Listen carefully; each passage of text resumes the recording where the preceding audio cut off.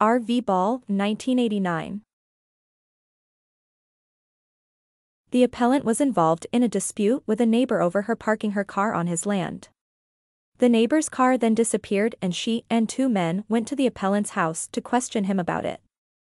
Things got out of hand and the appellant went and grabbed his shotgun and what he believed to be blank cartridges.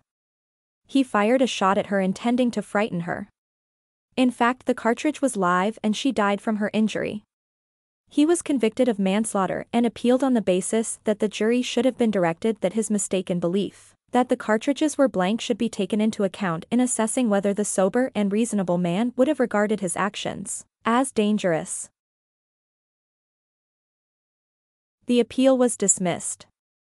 The question of whether the act was a dangerous one is to be judged not by the appellant's appreciation but by that of a sober, and reasonable man and it is not possible to impute into his appreciation the mistaken belief of the appellant, that what he was doing was not dangerous because he thought that there was a blank cartridge in the chamber.